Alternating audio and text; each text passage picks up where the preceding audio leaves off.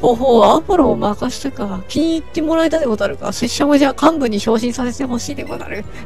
こんなところまでよく来た。アメちゃんくれる人みたいな感じになってるでござるが。世界中のポケモンを悪巧みに使っまくって、はい。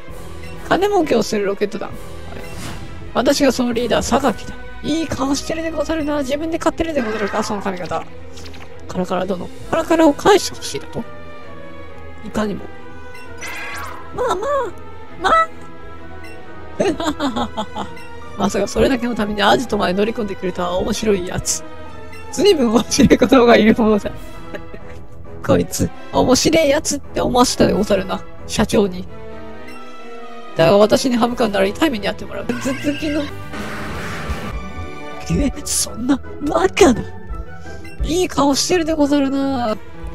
私が子供で負けてしまうとはな。だが、すがすがしい顔をしてるでござるな。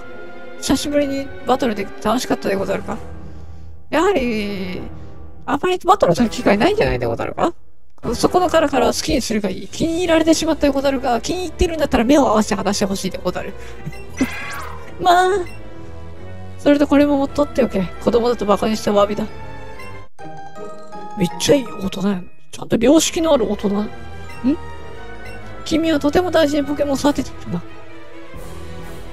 で良識のある男だが私の考えはとても理解できないだろう。まあ、するつもりもないでござるからな。ここは一旦身を引こう。君とはまたどこかで戦いたいものだ。拙者までござるよ。